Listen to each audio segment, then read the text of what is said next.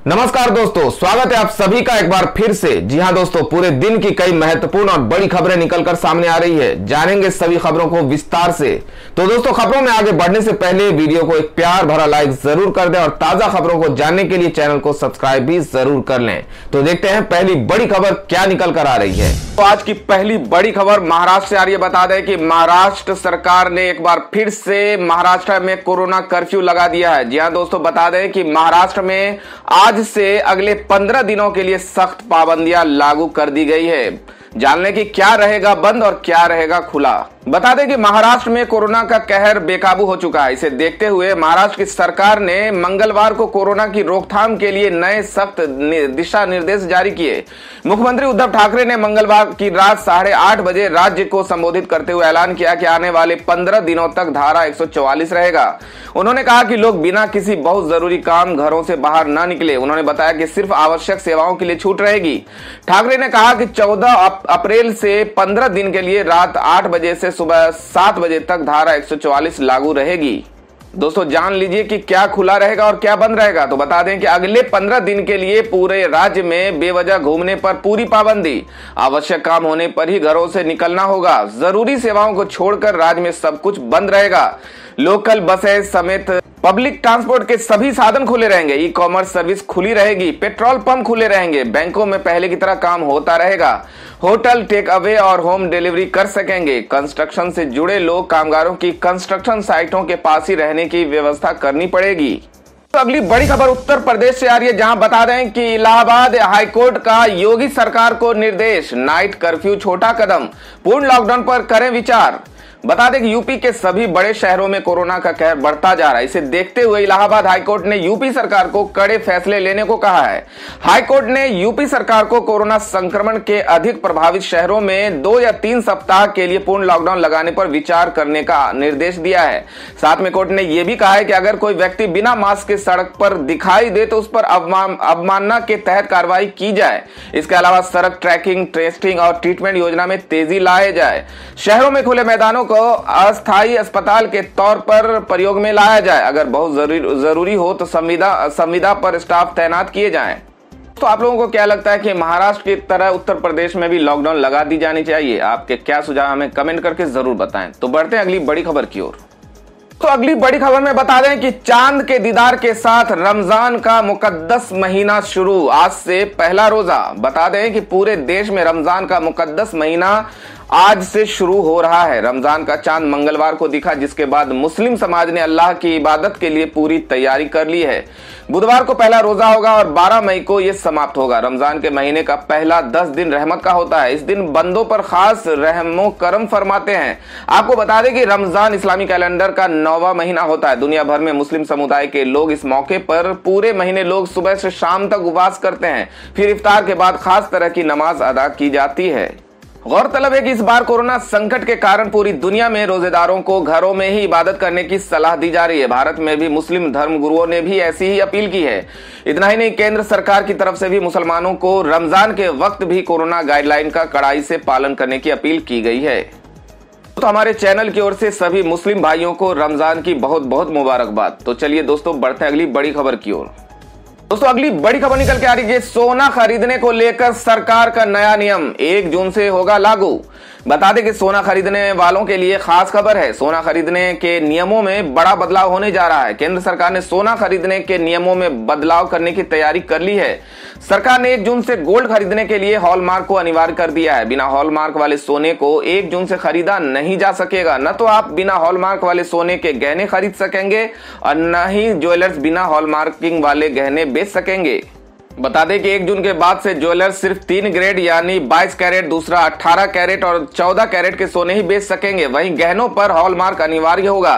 सरकार के इस आदेश को एक जून से देश के सभी ज्वेलर्स को मानना होगा। आपको बता दें कि हॉलमार्क सोने के गहनों की शुद्धता की गारंटी है। इसके बाद से आपको सोने की क्वालिटी को लेकर कोई संशय नहीं रहेगा। सरकार के इस फैसले के बारे में आपकी क्या राय है? आप हमें कमेंट करके ज़रूर बताएँ। बढ़ते हैं अगली बड़ी खबर की ओर। दोस्तों, अगली बड़ी खबर निकल के आ रही है कि रेलवे ने यूपी बिहार के लिए शुरू की 14 समर स्पेशल ट्रेनें। जान लीजिए पूरी जानकारी। बता दें कि गुजरात और महाराष्ट्र राज्यों में कोरोना मामलों में वृद्धि के कारण नाइट कर्फ्यू और पूर्ण लॉकडाउन जैसे सख्त नियम लागू कर दिए गए हैं, जिसके परिणाम स्वरूप प्रवासी श्रमिक अपने राज्यों में वापस लौटने शुरू कर दिए हैं। प्रवासी श्रमिकों की वापसी को देखते हुए पश्चिम रेलवे ने उत्तर प्रदेश, बिहार और असम के लिए 14 समर स्पेशल ट्रेनों की घोषणा की है। इससे यूपी और असम के यात्रियों को काफ़ी राहत मिलेगी। इन ट्रेनों को 12 अप्रैल से चलाया जाएगा। दोस्तों, ट्रेनों की पूरी लिस्ट आप स्क्रीन पे देख सकते हैं। तो बढ़ते हैं अगली बड़ी खबर की ओर। तो सरकार द्वारा चलाई जा रही इस स्पेशल ट्रेन की लिस्ट में क्या आपके शहर की ट्रेन शामिल है या नहीं, आप हमें कमेंट करके ज़रूर बताएँ और आप अपने शहर का नाम भी ज़रूर लिखें। तो बढ़ते हैं अगली बड़ी खबर की ओर। अगली बड़ी खबर, पश्चिम बंगाल से आ रही है, बता दें कि प्रतिबंध खत्म होते ही बीजेपी पर गर्जी सीएम ममता बनर्जी, बोली, मैं फाइटर हूँ, बंगाल को नहीं बनने दूँगी गुजरात। बता दें कि भारत निर्वाचन आयोग द्वारा 24 घंटे के प्रतिबंध के बाद एक बार फिर मुख्यमंत्री और टीएमसी प्रमुख ममता बनर्जी चुनाव प्रचार में कूद पड़ी हैं। सीएम ममता बनर्जी ने बारह सात में एक रैली के दौरान एक फिर से भारतीय जनता पार्टी को आड़े हाथ लिया। उन्होंने कहा कि हम बंगाल को गुजरात नहीं बनने देंगे। बंगाल कभी गुजरात नहीं बन सकता। मुझे रोकने का कोई फ़ायदा नहीं है। अपने भाषण में ममता बनर्जी ने खुद को स्ट्रीट फाइटर भी बताया।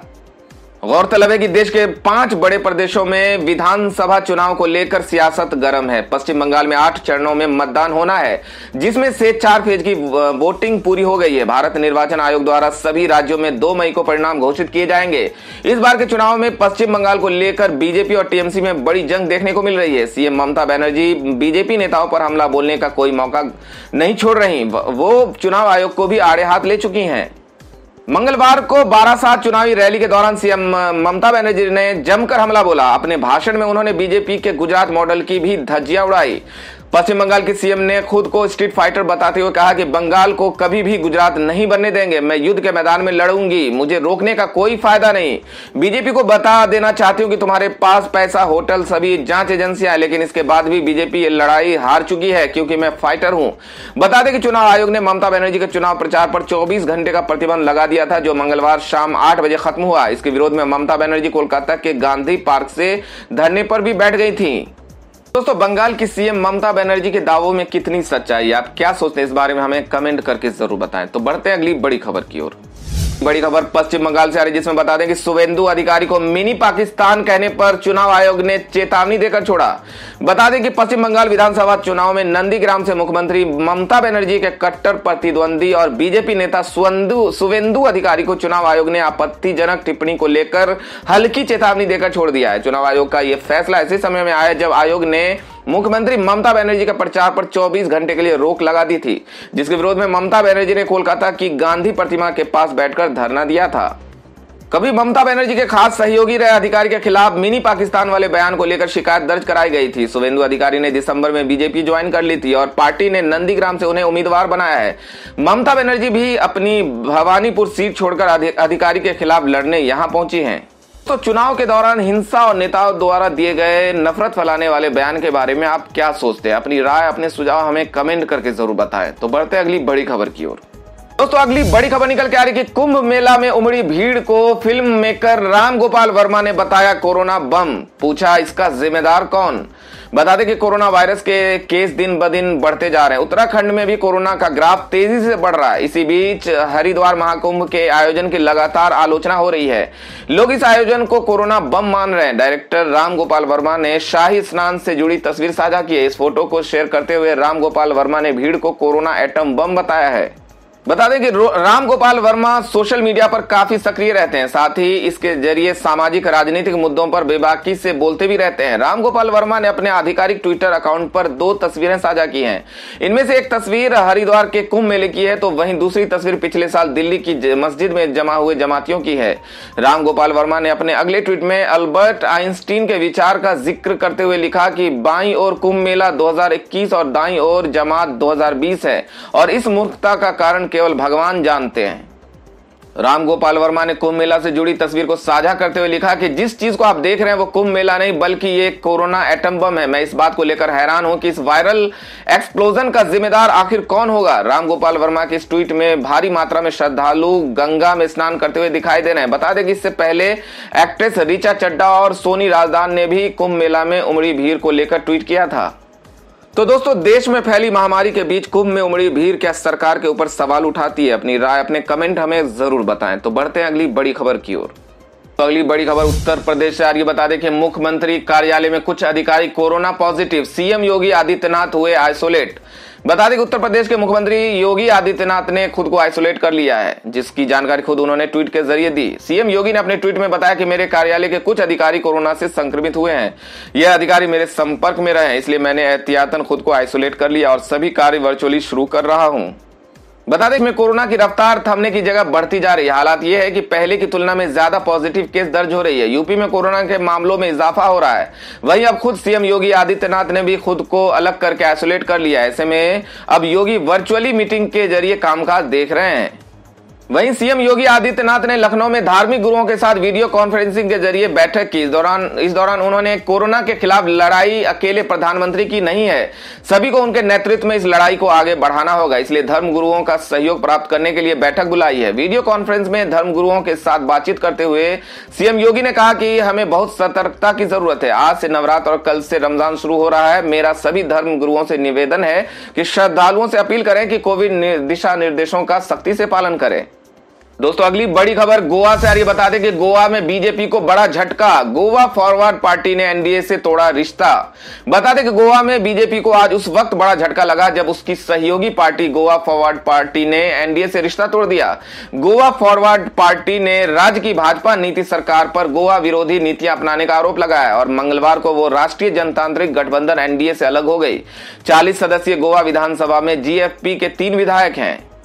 जीएफपी ने 2017 में एनडीए को मनोहर पारिकर की अगुवाई में भाजपा की सरकार बनवाने के लिए समर्थन दिया था। हालाँकि पारिकर के 2019 में निधन के बाद प्रमोद सावंत की अगुवाई वाली सरकार में जी, जीएफपी के तीन मंत्रियों को स्थान नहीं मिलने से पार्टियों पार्टियों के बीच संबंध ठीक नहीं चल रहे थे। इसके बाद जीएफपी की राज्य कार्यकारी समिति और राजनीतिक मामलों की समिति ने मंगलवार को बैठक की, जिसमें एनडीए से अलग होने का फैसला लिया गया। तो खबरों में आगे बढ़ने से पहले आपको याद दिला दें कि अभी तक आपने वीडियो को लाइक नहीं किया तो लाइक कर दें, दोस्तों को शेयर भी कर दें और ऐसी ही बड़ी और ताज़ा खबरों के लिए हमारे चैनल को सब्सक्राइब भी ज़रूर कर लें। तो बढ़ते हैं अगली बड़ी खबर की ओर। तो अगली बड़ी खबर निकल के आ रही है केजरीवाल सरकार ने बदली चांदनी चौक की सूरत। चमाचम हुई सड़कें, मिली जाम से मुक्ति।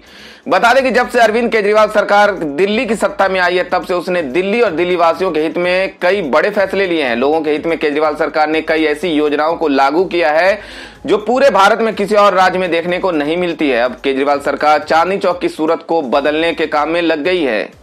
बता दें कि चांदनी चौक लाल किले के ठीक सामने स्थित है और वो ऐतिहासिक रूप से भी काफ़ी मायने रखती है। इसके बावजूद चांदनी चौक का किसी भी सरकार ने सुध नहीं ली। लेकिन केजरीवाल सरकार अब इसके सौंदर्यकरण में लग गई है। चांदनी चौक को वर्ल्ड क्लास लुक दिया जा रहा है। इसे यहाँ आने वाले पर्यटकों की सुविधा को ध्यान में रखते हुए विकसित किया जा रहा है। कुल मिलाकर सरकार इस आधुनिक रूप इसे आधुनिक रूप देने में लग गई है। यहाँ आने जाने वाले लोगों को जाम जैसी समस्याओं का सामना न करना पड़े। इसके लिए वहाँ सुबह नौ बजे से रात नौ बजे तक मोटरसाइकिल की आवाजाही पर प्रतिबंध लगा लगा लगा दिया गया है। इससे पहले वहाँ हमेशा जाम जैसी समस्या बनती थी और लाल किला देखने के लिए आने वाले पर्यटक जाम की वजह से बेहद परेशान रहते थे। केजरीवाल सरकार ने इस समस्या को महसूस किया और अब इससे लोगों के निजात दिलाने के काम में जुट गई है। दोस्तों, केजरीवाल सरकार के इस पहल के बारे में आप क्या सोचते हैं? आप अपनी राय हमें कमेंट करके ज़रूर बताएँ। तो बढ़ते हैं अगली बड़ी खबर की ओर। दोस्तों अगली बड़ी खबर भोपाल से आ रही है, जिसमें बता दें कि भोपाल में कोरोना का कहर। स्थिति को काबू में करने के लिए कैंसिल करनी पड़ी सरकारी कर्मचारियों की छुट्टियाँ। बता दें कि मध्य प्रदेश में कोरोना का कहर जारी है, जिसकी वजह से कई जिलों में कोरोना कर्फ्यू लगाया गया है। बोर्ड की दसवीं और बारहवीं की परीक्षाओं के अलावा एमपीपीएससी राज्य वन सेवा की मेन्स परीक्षा भी स्थगित कर दी गई। इस महामारी से सबसे ज़्यादा इंदौर और भोपाल प्रभावित है, जिसे देखते हुए भोपाल के सभी सरकारी अधिकारी और कर्मचारियों के अवकाश पर रोक लगा दी गई है। तो अगली बड़ी खबर में आपको बता दें कि दिल्ली वासियों के लिए खुशखबरी। इस नंबर पर मिस्ड कॉल देकर उठाए केजरीवाल सरकार की सभी योजनाओं का लाभ। बता दें कि अगर आप दिल्ली के निवासी हैं तो आपके लिए ये अच्छी खबर है। लोगों के हित में ताबड़तोड़ फैसले ले रही अरविंद केजरीवाल सरकार ने एक और अच्छा फैसला लिया है। दरअसल, सरकार ने आम लोगों को अपनी विभिन्न योजनाओं से जोड़ने के लिए एक मोबाइल नंबर जारी किया है, जिस पर मिस कॉल देकर आप सरकार की विभिन्न योजनाओं का लाभ ले सकते हैं। बता दें कि दिल्ली सरकार में कैबिनेट मंत्री राजेंद्र पाल गौतम ने दिल्ली सरकार की, की दिल्ली सरकार की योजनाओं से आम जनता को जोड़ने के लिए आठ चार चार सात ज़ीरो ज़ीरो चार चार ज़ीरो ज़ीरो नंबर जारी किया है। ये नंबर मुख्य रूप से दिल्ली सरकार की घर घर राशन योजना को ध्यान में रखकर जारी किया गया उन्होंने दिल्ली राज्य अन्न पिछड़ा वर्ग आयोग द्वारा आयोजित एक कार्यक्रम में ये नंबर जारी किया। इस दौरान आयोग के अधिकारियों ने विभाग द्वारा किए गए कार्यों की जानकारियाँ भी प्रस्तुत की। अगर आप भी दिल्ली वासी हैं तो अपने इलाके का नाम हमें कमेंट करके ज़रूर बताएँ। तो बढ़ते हैं अगली बड़ी खबर की ओर। तो अगली बड़ी खबर महाराष्ट्र से आ रही है। बता दें कि मुंबई के रेलवे स्टेशनों पर मजदूरों की भारी भीड़। रेलवे बोला, हर साल गर्मियों में इस तरह की भीड़ होती है। बता दें कि कोरोना महामारी के चलते मुंबई से एक बार फिर प्रवासी मजदूरों का पलायन शुरू हो गया है। लॉकडाउन की आशंका से प्रवासी मजदूर मुंबई छोड़ने को मजबूर हो रहे हैं। मुंबई के कुरला में लोकमान्य तिलक टर्मिनस में प्रवासी मजदूरों की काफ़ी भीड़ देखी गई, जिसके बाद वहाँ अफरा तफरी का माहौल बना हुआ है। लोगों की भीड़ रोकने के लिए पुलिस को बल प्रयोग भी करना पड़ रहा है। वहीं रेलवे ने लोगों को आशंकित न होने के लिए कहा है। बता दें कि महाराष्ट्र में बढ़ते कोरोना मामले और लॉकडाउन की आशंका के चलते एक बार फिर से घर वापस जा रहे हैं लोग। लोगों को एक बार फिर पिछली बार की तरह कमाने खाने की चिंता हो रही है। यही कारण है कि अपने गाँव जाने के लिए लोग रेलवे स्टेशनों के बाहर डेरा डालने लगे हैं। वहीं कई मजदूर बसों के ज़रिए भी अपने राज्यों के लिए निकल पड़े हैं। स्टेशनों पर हो रही भारी भीड़ को लेकर मध्य रेलवे के सीपीआरओ ने बयान जारी किया है। दोस्तों, अगली खबर में जान लेते हैं आज के मौसम समाचार को। बता दें कि देश के इन हिस्सों में गरज के साथ होगी तेज बारिश। बता दें कि आईएमडी का क्या है ताज़ा अपडेट। देश की राजधानी दिल्ली समेत उत्तर भारत के कई हिस्सों में लोग गर्मी से परेशान हैं। दिल्ली में दिन चढ़ने के साथ ही बहुत तेज धूप हो रही है। दिल्ली के सफदर जंग मौसम केंद्र में दिन का अधिकतम तापमान उनचालीस डिग्री सेल्सियस दर्ज किया गया, जो कि सामान्य से तीन डिग्री ज़्यादा है, जबकि न्यूनतम तापमान अठारह डिग्री सेल्सियस रहा, जो कि सामान्य से तीन डिग्री कम दर्ज किया गया। दिल्ली एनसीआर के लोग अप्रैल के महीने में ही भीषण गर्मी से परेशान है। वहीं दूसरी ओर देश के अन्य हिस्सों में भारतीय मौसम विभाग ने बारिश का अलर्ट जारी किया है। मध्य प्रदेश, महाराष्ट्र के विदर्भ, तेलंगाना, छत्तीसगढ़, ओडिशा और पश्चिम बंगाल के कुछ हिस्सों में गरज के साथ बारिश होने का अनुमान है। भारतीय मौसम विभाग के अनुसार 14 से 16 अप्रैल के दौरान तमिलनाडु, केरल, माहे और कर्नाटक के दक्षिण और तटीय क्षेत्रों में भी भारी बारिश की संभावना बनी हुई है। तो दोस्तों, ये थी अब तक की सभी बड़ी खबरों की अपडेट्स। टुडे ब्रेकिंग न्यूज़ और लेटेस्ट खबरों को देखने के लिए हमारे चैनल को सब्सक्राइब ज़रूर कर लें। वीडियो लाइक और शेयर ज़रूर कर दें अपने दोस्तों और रिलेटिव्स के साथ। तो दोस्तों, आपसे फिर मिलेंगे काम की खबरों और सरकारी योजनाओं की एक और नई वीडियो के साथ। तब तक के लिए धन्यवाद दोस्तों।